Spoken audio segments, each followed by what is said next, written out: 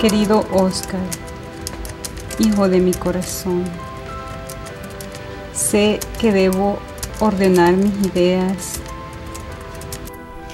La idea de escribir un diario era para que Oscar no se perdiera ni un pedacito de todo su proceso de recuperación. Un 23 de mayo, Oscar sufrió una explosión de una malformación arteriovenosa en su cerebro que lo mantuvo en peligro de muerte durante más o menos cinco meses. Pasó cuatro meses en los hospitales con pronóstico reservado, decían los doctores. Eh, a veces decían que era neurisma, a veces decían que era un ACV, entonces, o que era algo tan grave que ellos no podían explicarse. A mi mamá le dijeron es que su hijo iba a morir, o sea, ellos. Él no tenía ningún pronóstico favorable, o sea, él estaba muriendo. Lo único que podía salvarlo a él era un milagro de Dios sufrí porque sufría, eh, mi hijo no me podía comunicar con él porque, o sea, no hablaba, estaba en estado vegetal.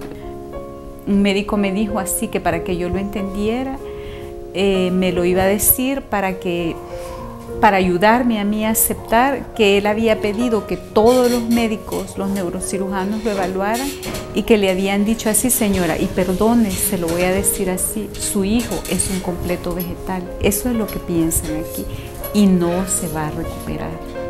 Realmente esto sí ha sido, ha sido difícil, pero yo estaba dormida. Más no fue para mí, fue para mi mamá.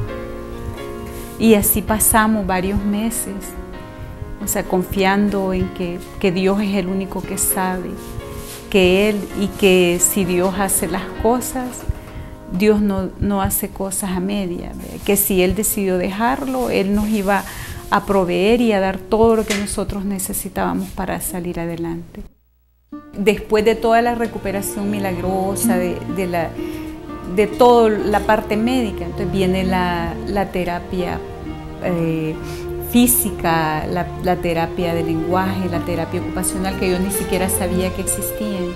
Entonces ahí es donde Funter apoya, apoya porque uno puede decir que pues que de dónde saca uno para, para, todos, para todas esas terapias, cómo va a pagar un lugar donde ir y que, que, le ayuden de esa manera. O sea, sabemos que todo eso es caro, todos los aparatos que utilizan, los AFOS, las férulas, todo lo que hay que hacer. Y yo estoy muy agradecida también porque la manera en que hacen las cosas, todo el mundo es muy amable. Lo que dice Oscar, uno se siente como, como una familia, ¿verdad? Todos están ahí, todos los que necesitamos y los que nos brindan la ayuda, siempre están pendientes. Las terapistas han sido maravillosas con Oscar. Ahorita estoy en punta, estoy en clase, eh, me ayudan con las manos más que todo Realmente es algo que me da mucha ayuda porque antes me temblaban muchísimo las manos, ahora ya no mucho.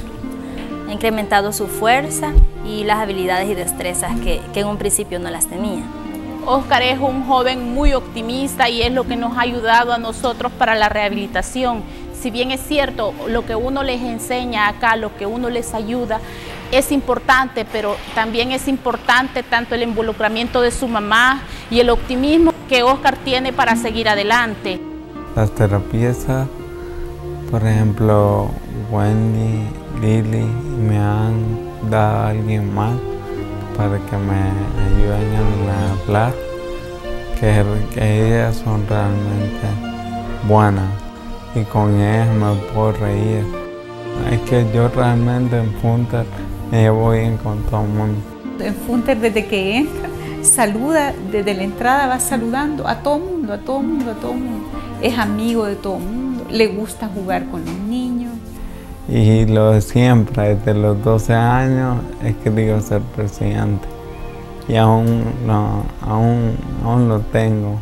O sea, para mí eh, eso nunca, nunca se me ha quitado ni se me va a quitar para mí puede ser que, que a mí no me importa el que en el caso del dinero, en el caso de nada, fin tal vez a llegar. Así que voten por otro.